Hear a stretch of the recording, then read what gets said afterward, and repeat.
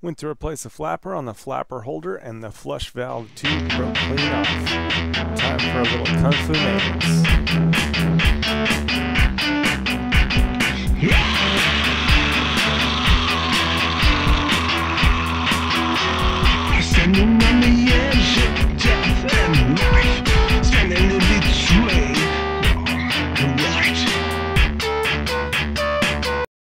Welcome back to Kung Fu Maintenance. Well, today I've got a fill valve that broke off inside, and um, I'll show you here. Flush valve, not the fill valve, but I'll replace the fill valve as well. You can see it just clean broke off. Now, what happens sometimes is these tank additives, they're uh, kind of corrosive, especially if someone goes on vacation for a while and the toilet doesn't get flushed for a while, or um, it's just a, a maybe a hall toilet that doesn't get used quite as often. It gets very uh, built up, you know, the uh, the cleaner, the additive, and then it starts breaking things down, including the seals. Now I'm going to be doing a complete rebuild today and going to be replacing the flush valve. Here's the flush valve assembly and also going to be replacing the uh, fill valve pretty much just everything as I'm here. I already replaced the flapper yesterday and that's how this one snapped off uh, right here. Uh, it's fairly simple.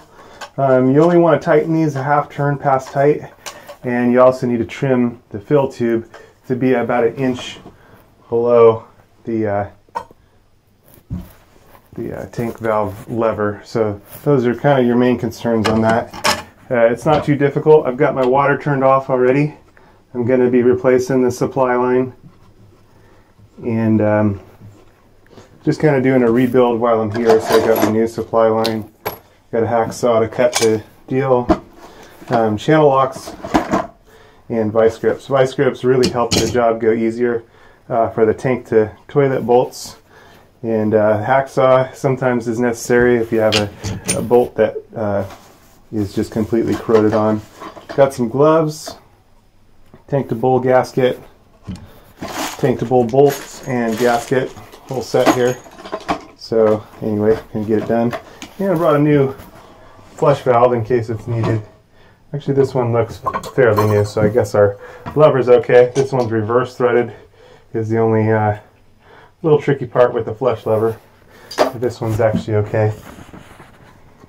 And just gonna kind of get the flapper out of my way.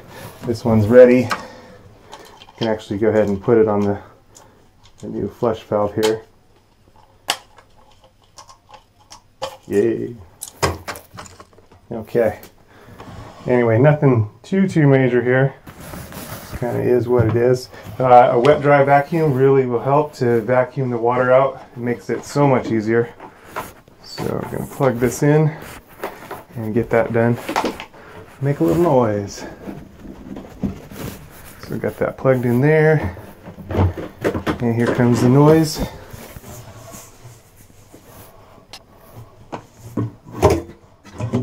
Maybe not. Okay. Oop. Okay.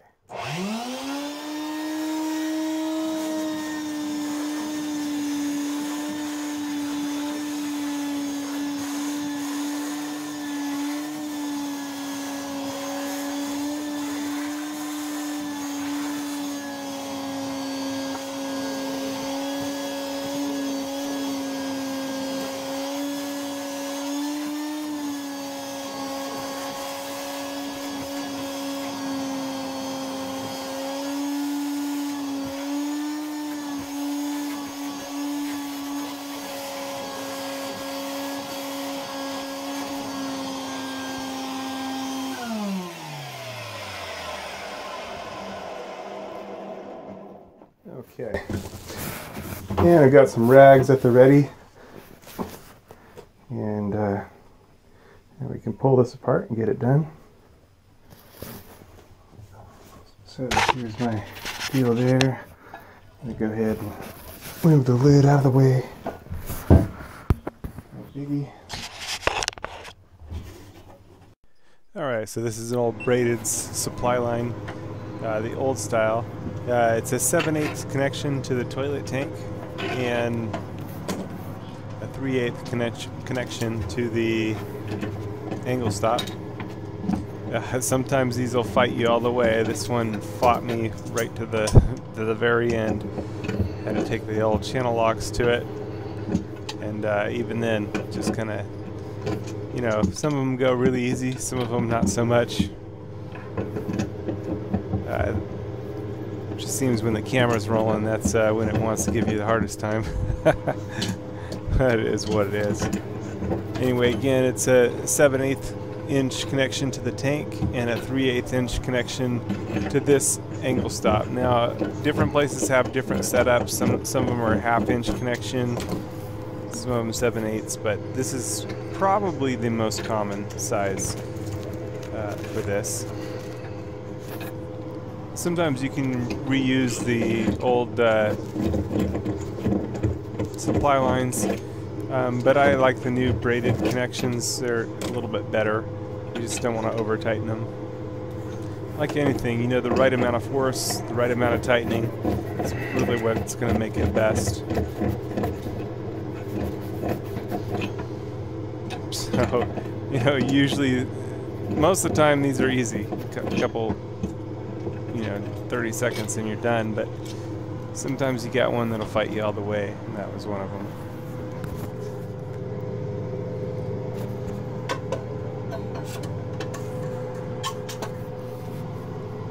So there's a broken flush valve tube. Thing just snapped right off when I went to put a uh, new flapper on. So here um, we've got a two tank to toilet bolts. Uh, some tanks have three bolts. This particular one has two bolts. Uh, it's good to use a large size screwdriver. So I got a large one on my Leatherman. And vice grips can really help in that you can grab the bolt and it just makes it a little easier uh, turning it out. Most of the time you can't use the screwdriver inside. Most of the time you're going to have to turn your bolt out by hand. That you'll just want to use the screwdriver to hold the bolt inside. It gets so corroded over the years of, uh, you know, it functioning that if you try to turn the bolt, and this one I did try to kind of turn it from inside, but it just it kind of broke right right away. So probably better just to turn it out by hand.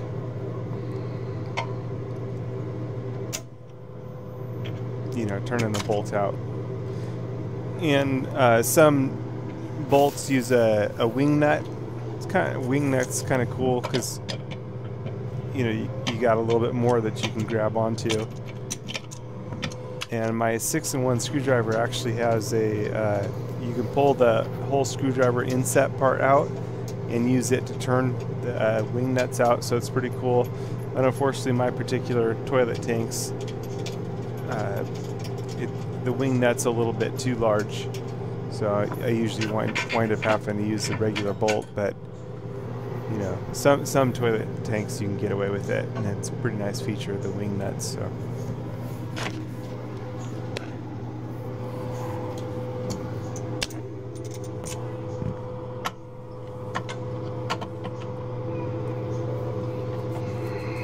And sometimes the vice grips don't want to cooperate it can be a little tricky. Just want to be careful for your tank. It is porcelain, or and your bowl. Tank and bowl are porcelain. You know, you don't want to clamp it on where when you release the, the clamp of the vice grip that it's going to snap against the tank or against the bowl. Then uh, you can crack the porcelain and you'll be starting all over again. That's no fun.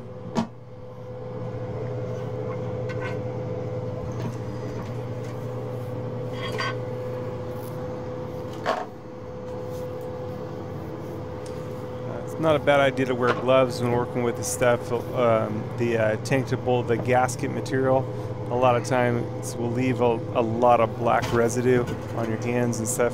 Not the easiest stuff to wash off.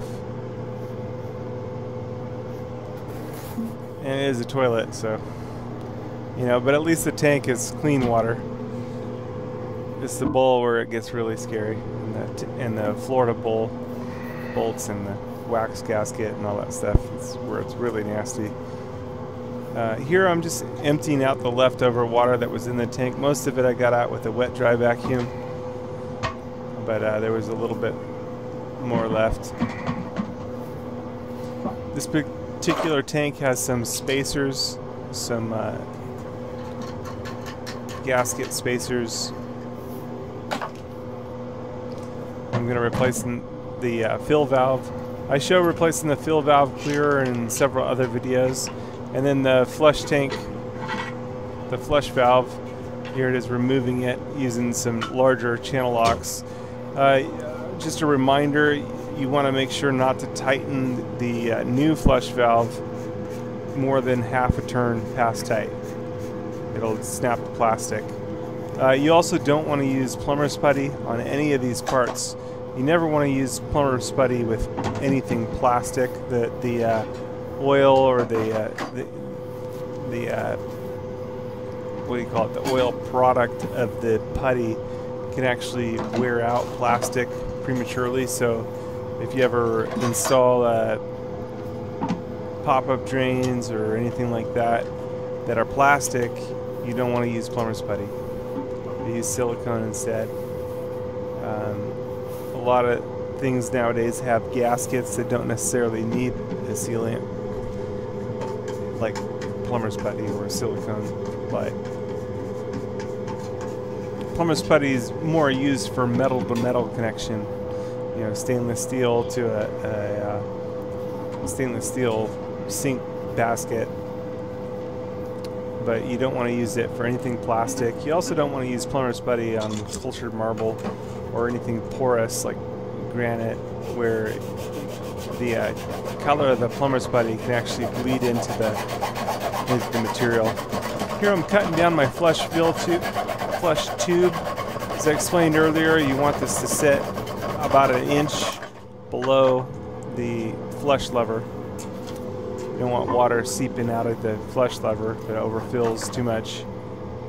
And you don't want to cut it too low either because that is uh, where you can adjust your flush, uh, your fill valve height. Your fill valve height is going to determine the amount of flush power, the amount of water that goes through. These are gravity feed toilet, and uh, it's the amount of water that pushes through and drains through via gravity. So the strength of your flush is going to be determined by the amount of water that is flushed when you flush. Uh, some of the newer toilets, the low flow toilets, they're engineered to use a lot less water, which is really cool. Um, they use a lot of them use a bigger flapper these days. The Gerber toilets they're starting to use bigger flapper that uh, gives a stronger flush with less water. It's a good idea.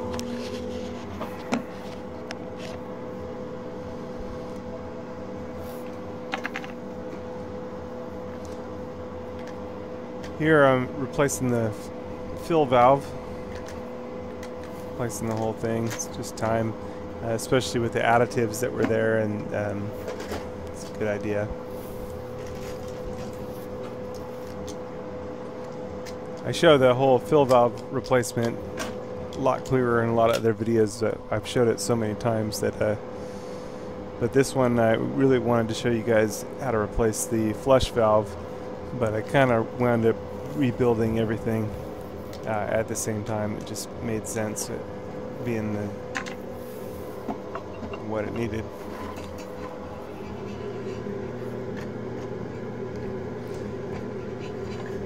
The fill valve is just uh, hand tighten. You really don't need- need any tools.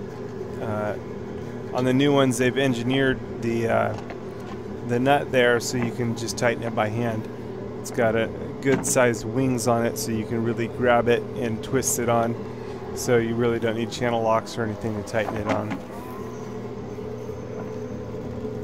And you don't want to over tighten any of these uh, things in that it can crack the tank itself. It is porcelain, so porcelain's very strong, but it's also brittle. So here again with the flush valve, you don't want to go more than half a turn past tight. And again, you also don't want to use plumber's putty as it'll wear through the plastic. And here's the gasket, tank to bowl gasket.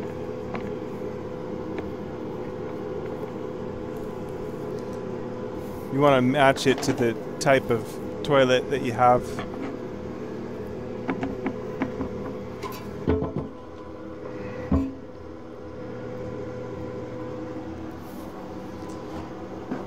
And then once you put in your tank to bowl bolts and gaskets, uh, these are assembled.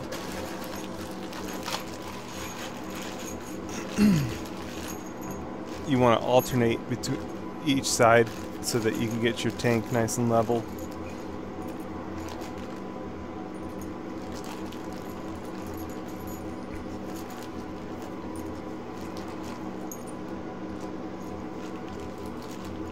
Some toilets use a, a nut in between uh, where it's connected to the tank. So some of them go the uh, the bolt, then the washer, then the gasket, and then some use a nut on the other side with a, another washer and a gasket. This particular one uses the bolt, then the, washer, then the gasket, and then on the opposite side uses a washer and the nut. And that's all that's really needed for this type. But some of them, like the Gerber toilets, tanks, there's a bolt in between. So, so the tank is actually just, you know, the bolt, then a, then a washer, gasket, and then on the other side of the tank is a bolt, and then on the other side of the bowl is a gasket, is a uh, washer and a nut. So there's a. I, really don't like that setup particularly in that uh, you can't just replace the tank to bowl gaskets. You've got to actually separate the whole tank from the bowl before you can replace the tank to bowl bolts and gaskets. You know, it is what it is. It's a little more complicated, but not too bad. Either way, it's never fun when you need to replace tank to bowl gaskets and, you know, bolts. You got a leak in between the tank and uh, the uh, bowl. It's never fun, but, you know, job security is what it is.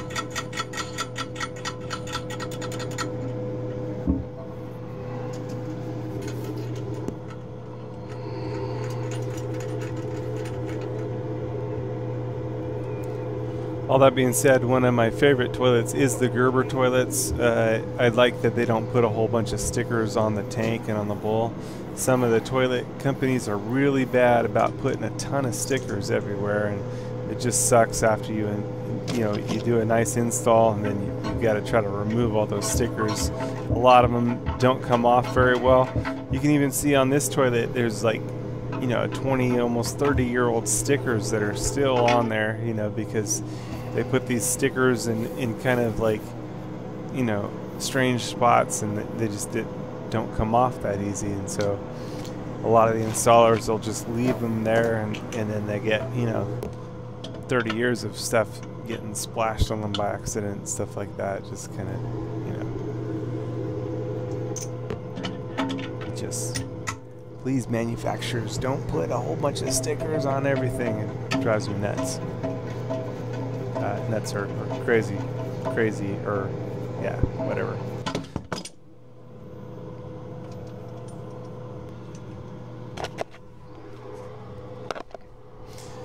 Anyway, there's one of those stickers I was telling you about.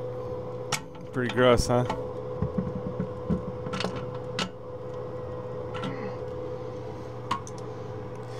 And I'd probably remove it, but you know, by the time I do, it's probably going to be time to change the toilet anyway, but you know, just uh, again, be nice if uh, companies wouldn't put so many stickers on the toilets. Just kind of unnecessary.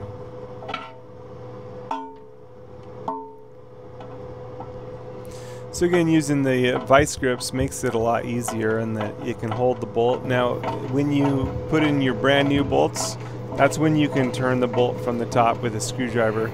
You know, a big flathead screwdriver works really good. And uh, holding it with the channel locks, you can get it tight enough. And you want to alternate between each side so that you can get your tank nice and level. No fun if you tighten up one side to realize you can't really tighten up the other side to get it level and it's just sitting crooked. So it's good to alternate each side.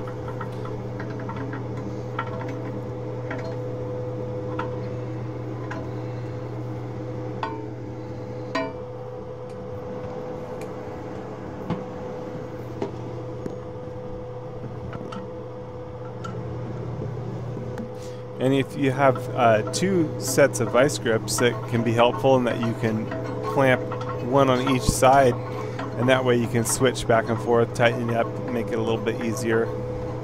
Uh, this one I, I was using a pair of channel locks on the other side. Uh, not that easy to grab the nut with the channel locks, but you know it's not impossible either. So.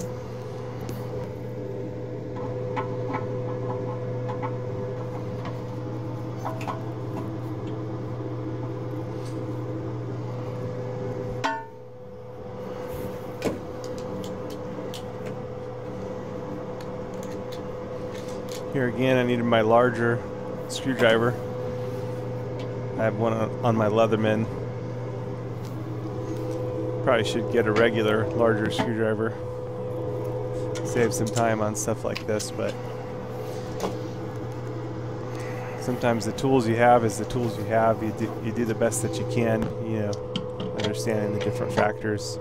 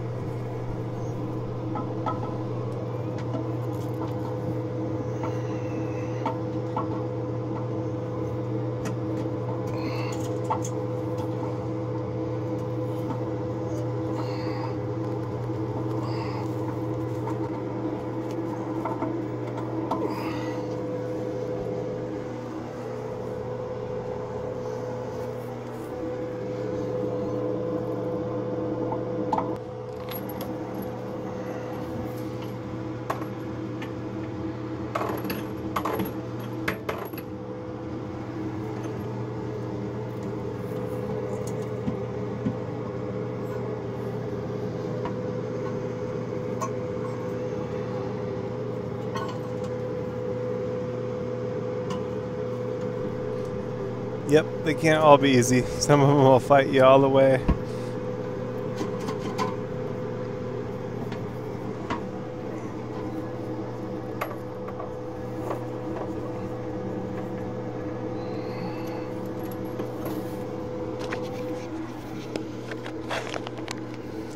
So here's a braided style connection for the supply line. Again, it's a 7 8 inch uh, connection to the tank and then a 3 8 inch connection to the angle stop. Uh, angle stops, I really like the quarter turn angle stops. They're, they're really nice. Uh, been changing out a lot of them uh, as um, remodeling and uh, going with the quarter turn angle stop. It's a ball valve style. The ball valve is much less likely to wear out. It has less moving parts and and uh, it, it's a you know just a, a nice feature.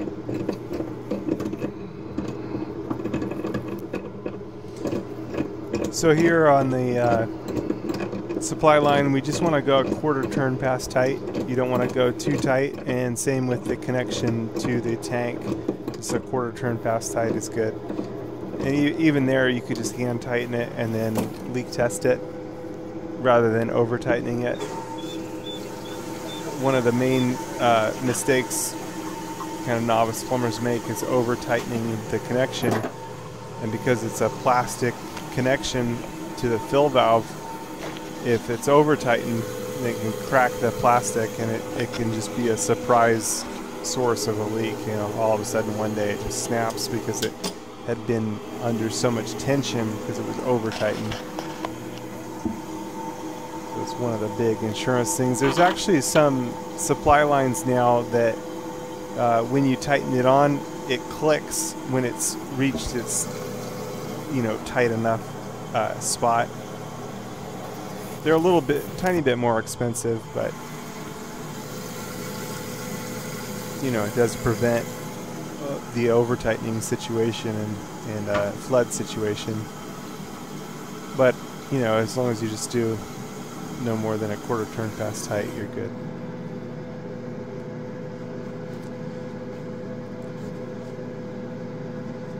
Okay, so got it all tightened up and back together. Ready to turn the water back on. And uh, then gonna do the, you know, test and flush and doing a field test. Uh, the field test is going to show you a, a, lot more if there's any leaking or any water, any moisture. And you can also look with flashlight. But uh, once you've dried it off with a you know a little bit of paper is easier to dry it off with toilet paper because it's very absorbent. But then you can do a field test, make sure you don't have any leaks. Better to catch anything now, and you want to just feel at any of the connections points. You know, both from the supply line in between the uh, just all the different connection points. Supply line the nuts the tank to bowl bolts and then watching in between the tank to bowl gasket making sure nothing's leaking there. Anyway good to go. That's replacing the fill valve. No big deal. Not the most fun job in the world but you know it is a job. Job security so no leaks here. Good to go. Thanks for watching Kung Fu Maintenance. Over and out. Good to go. And also making sure we get a good fill, uh, a good flush uh, that's based on the fill valve height. Again, that's adjustable. You can check out my videos on how to get the most flush power or how to improve the flush power for your toilet. I go into all of those things a little bit more on those videos, how to replace fill valves and flappers. And uh, anyway, thanks for watching Kung Fu Maintenance. Over now.